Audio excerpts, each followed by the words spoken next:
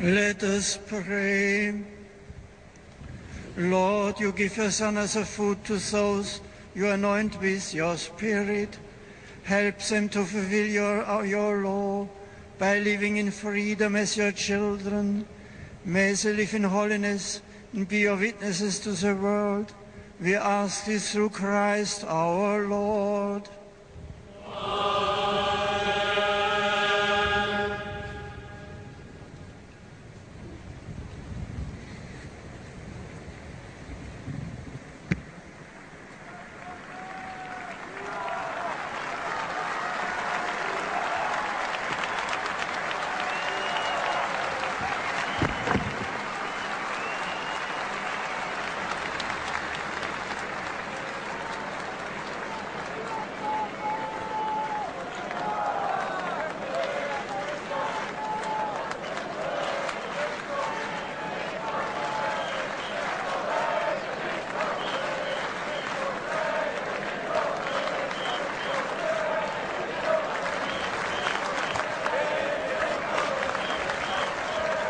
Dear young friends, in the beautiful prayers that we are about to recite, we reflect on Mary as a young woman, receiving the Lord's summons to dedicate her life to Him in a very particular way, a way that would involve the generous gift of herself, her womanhood, her motherhood.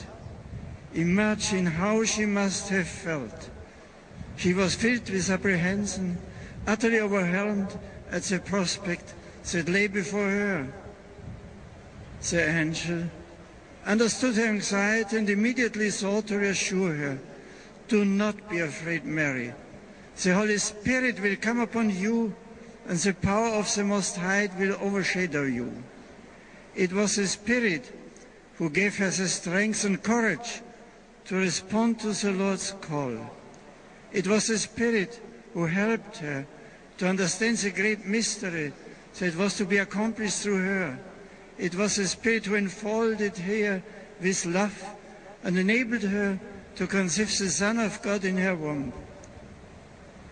This scene is perhaps a pivotal moment in the history of God's relationship with his people.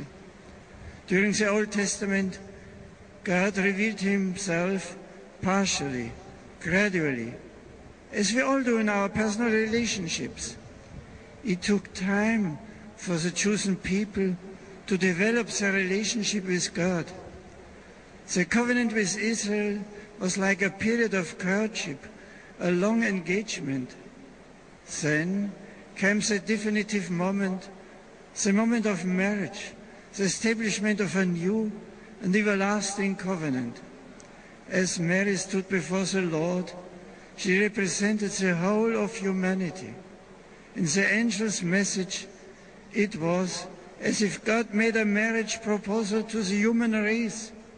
And in our name, Mary said yes. In fairy tales, the story ends here, and all life live happily after. In real life, it is not so simple. For Mary, there were many struggles ahead as they lived out the consequences of the yes that she had given to the Lord. Simeon prophesied that this word would pierce her heart. When Jesus was 12 years old, she experienced every parent's worst nightmare when for three days a child went missing.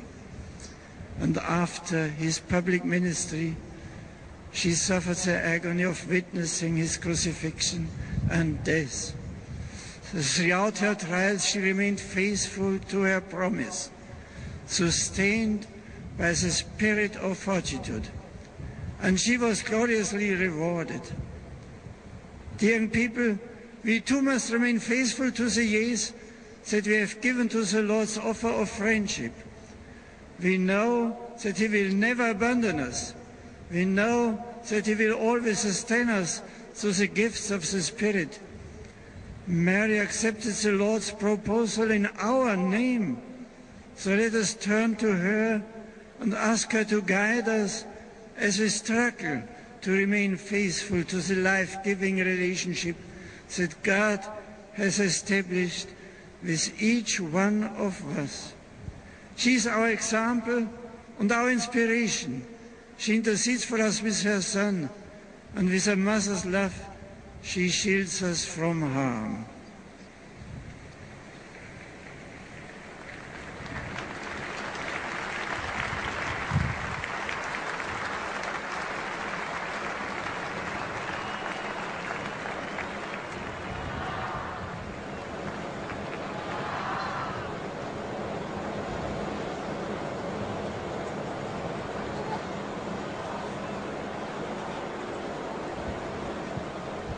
Angelus Domini nuntiavit Mariae. Ave Maria, gratia plena, Dominus tecum, benedicta tu in mulieribus et benedictus fructus ventris tui, Iesus.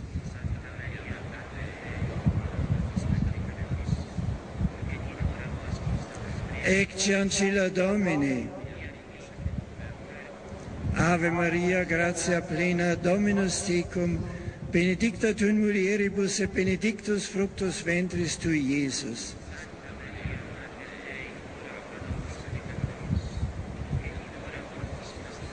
Et verbum caro factum est. Ave Maria, gratia plena Dominus tecum, benedicta tu in mulieribus et benedictus fructus ventris tui, Iesus.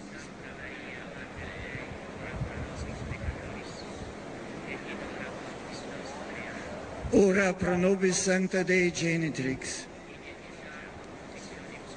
Oremus gratiam tuam quesmus Domini mentibus nostris infunde, ut qui angelo nuntiante Christi Filii tu incarnatione coniovimus, per passionem eius et crucem, ad resurrectionis gloriam perducamur, per iundem Christum Dominum nostrum.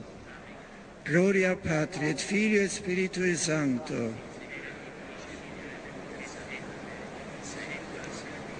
Gloria Patri et Filio et Spiritui Sancto.